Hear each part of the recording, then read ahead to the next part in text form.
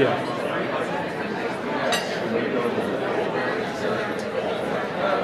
Okay, we're ready to get started.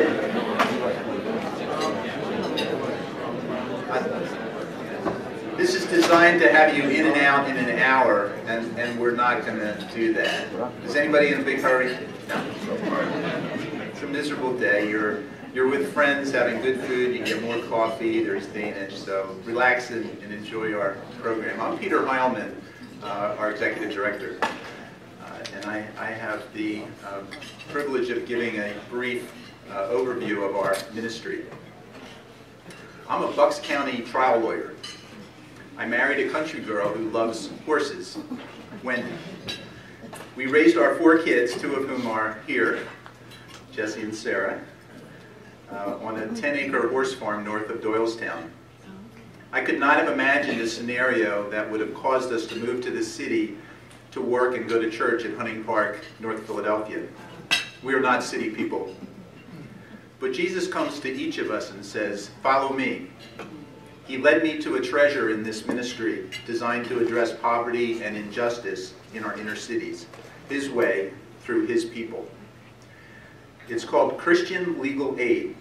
We are one of 63 Christian legal aid clinics across the country, which follow the same word deed model that has worked for over 40 years, seeking to do justice with the love of God. We all met in Boston last month, which helped renew my vision for this work.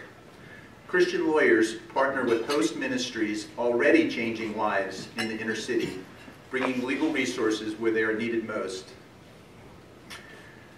As Dennis told you already, uh, how this all started. For me, I was part of a handful of lawyers who came to a seminar Dennis invited us to uh, 13 years ago when the head of the Christian Legal Society challenged us to start a legal clinic here in Philadelphia. A group spun off from that uh, initial site and opened a second clinic in Hunting Park, which I became involved in. We formed a board which had a citywide multi-clinic vision but remained all volunteer with no staff, no office, and no effective plan to accomplish the vision. Three years ago, we agreed that we needed to do more, and we adopted an ambitious five-year plan to become the first faith-based legal nonprofit in the area, with an office and staff that could build an infrastructure to support five clinics in the neediest neighborhoods in the city, each with their own embedded attorney. We offer clients a free one-hour consultation where volunteer attorneys meet one-on-one -on -one with people who are often very different from them. We call them divine appointments. Yes. Amen. and there can be a very special connection that results. People come off the street with all kinds of legal issues. Uh, family, criminal, housing, immigration, uh, and we help start a lot of nonprofits. We listen to their story and help them think through their situation and offer options. If they qualify for further help, we'll refer them to someone on our panel of referral attorneys or take the case ourselves. Before they leave, we ask, how can we pray for you?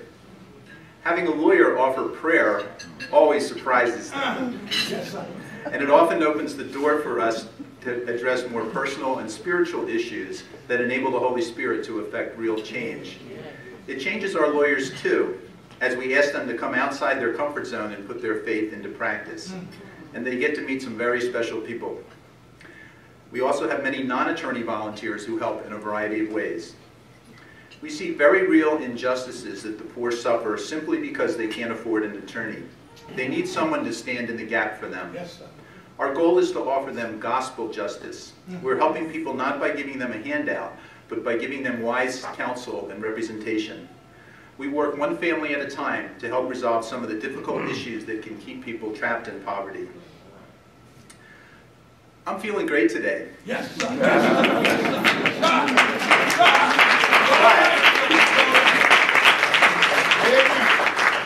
But last year at this time when I stood up to talk, I felt horrible. Um, I had just finished the 10th of 12 chemotherapy treatments for appendix cancer. Tuesday, Wednesday, and Thursday of that week, I carried a chemo bag around that effused poison throughout my body. As I spoke, I could feel its toxic effect in every finger and every toe. But God's Spirit lifted me, strengthened me, and somehow I got Yeah. through it. Yeah.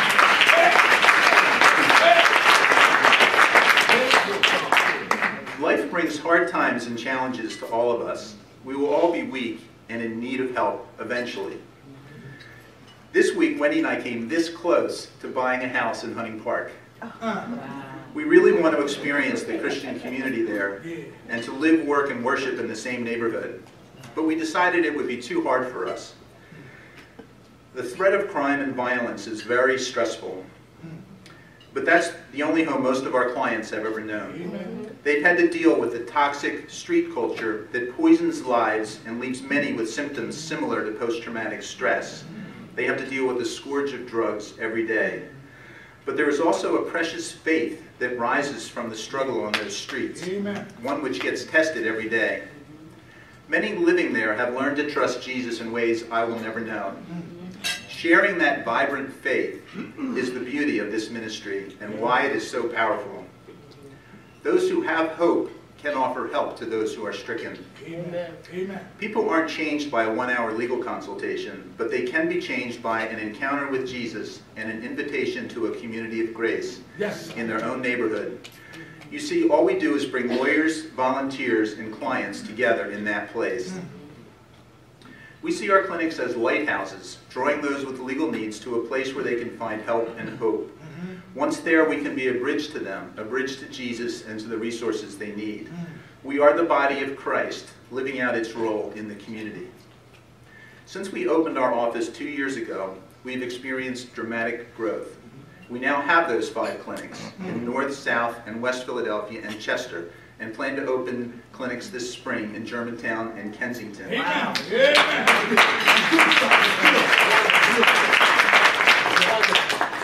That handful of attorneys has grown to a five-county network of volunteer clinic attorneys and referral attorneys. This year, we've helped over 500 people, more than twice as many as we saw three years ago. That could easily grow to over 1,000 a year. Last year, we put on 15 community legal education seminars. We've majored in writing wills and expungements and have had special clinics at homeless ministry and senior citizen center. This year, we've cleared the arrest records of 50 men and women.